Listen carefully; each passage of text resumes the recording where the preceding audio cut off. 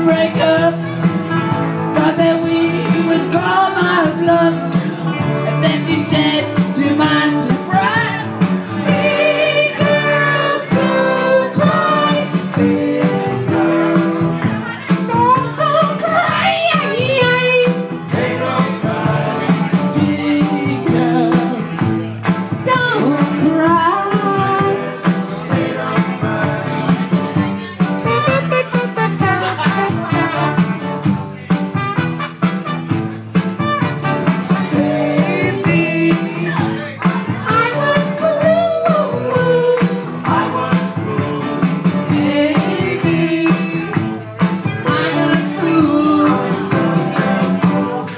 shame on you. Shame on you, your mother said.